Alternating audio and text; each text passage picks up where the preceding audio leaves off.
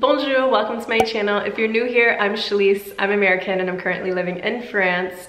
However, this video has really nothing to do with that at all. In this video, I'm going to be explaining all of the PCOS symptoms that I struggle with on a daily basis and have been struggling with for the last few years. It's honestly really embarrassing stuff and it's gonna be a lot, so yeah. Qu'est-ce que je vais te nommer? Je vais te nommer.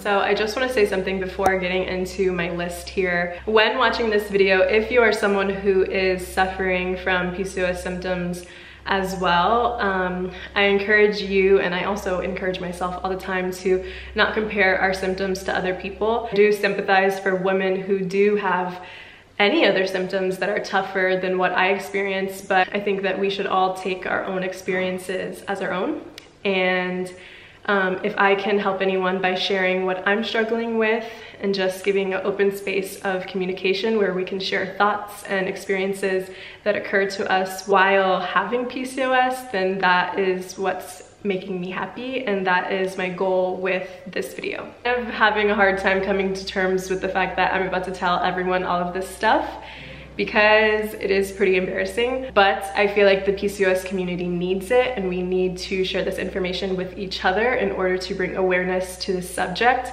I hope that this video can help any other woman in my situation to know you are not alone with the things that you are experiencing with PCOS.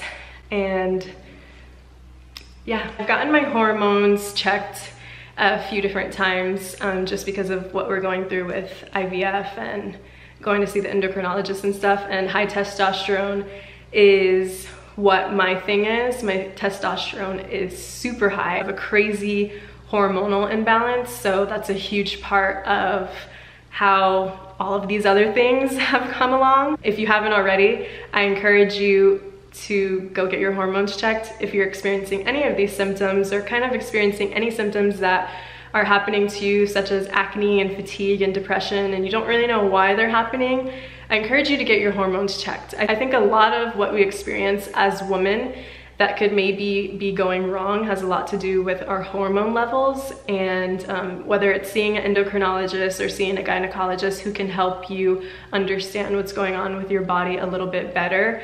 Um, it's really relieving to know where these symptoms come from.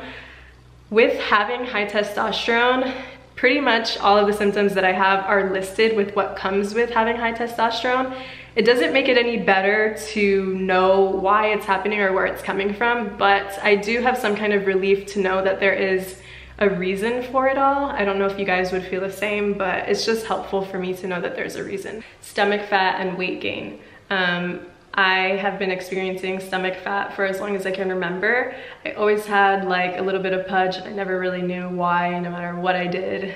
Um, it just hasn't gone away. I've been physically active my entire life, but the stomach fat has always been there. Um, and so that's something that I really struggle with and still struggle with a lot today. And then along with that comes with weight gain. I wouldn't say that um, weight gain is a huge thing that I struggle with today, but when I was 20, I experienced a 35 pound weight gain in a span of two months, which was really shocking and difficult to deal with at the time. Um, I think considering the position that I was in in my life at the time, being a professional dancer put me in a situation where I had to act quickly on what was happening to my body. So instead of